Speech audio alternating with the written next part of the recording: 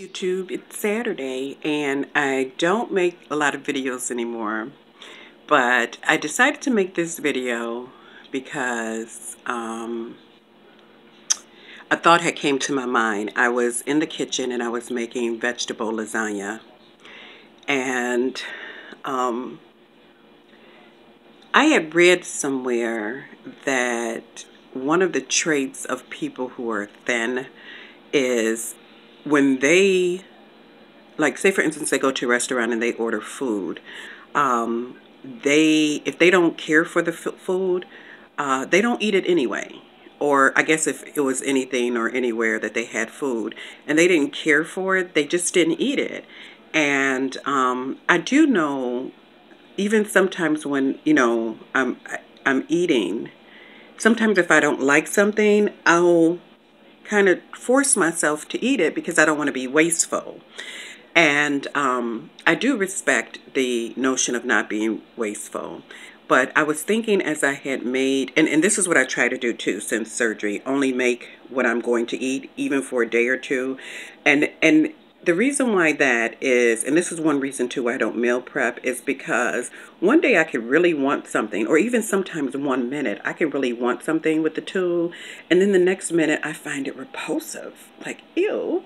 Um, I had wanted a piece of fish, and I really didn't know what kind of fish or anything, but anyway, it's a local fish market, so I had ordered some butterfish. I'm going off topic, but I'll get back to the topic, but it connects.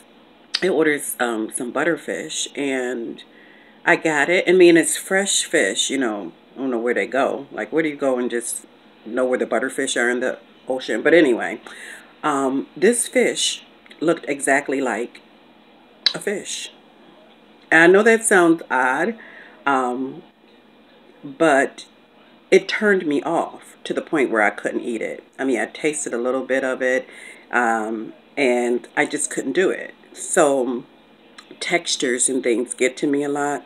Textures, smell, and like I said, one minute I can want something, and the next minute ugh, it, I find it repulsive. So anyway, I say all this to say that I was making my lasagna, and I did have like extra leftover ingredients. Like I made the pan. It was my goal to make a small pan of it, and um, I had some extra noodles left over.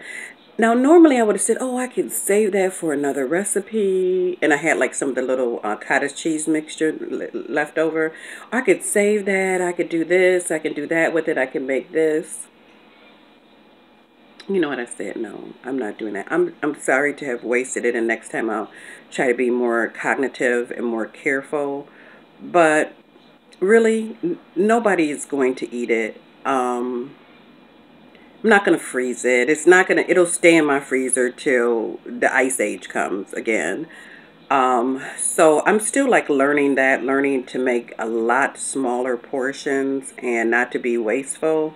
But I guess my message here is that I am not going to um, overeat or just make additional food just because I have extra ingredients. Um, or like a little bit extra. It could be like a little teaspoon extra. Now, am I going to put that teaspoon in my mouth? No, not, no. Why?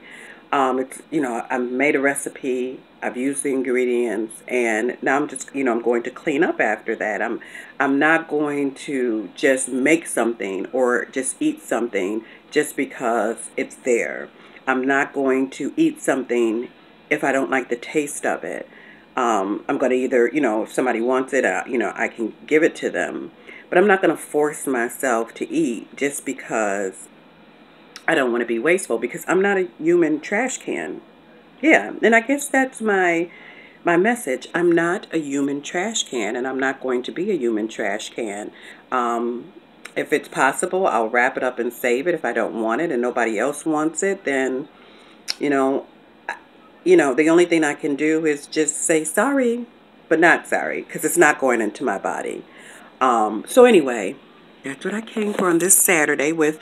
I'm, I'm actually, what I'm doing is Saturday, I'm not combing my hair, I'm not putting, I'm not doing earrings, I'm not doing anything. I'm just at home cleaning, taking my time, one thing at a time, one step at a time. And um, Actually, the only thing I have left over is that spinach that um, I am going to be keeping. I'll keep the spinach. Mm -hmm. I could use that for something else. But all, all the rest of that stuff, um, well, it's not all the rest of it. It was like a little bit of the cheese mixture and some noodles. But it's just the point. I'm not a human garbage can. And I'm not going to treat my body like I'm a human garbage can. And I think that that's growth. That's what I think. It's growth. Okay, hope everybody is doing well. I'm doing well. And um, I shall see you later.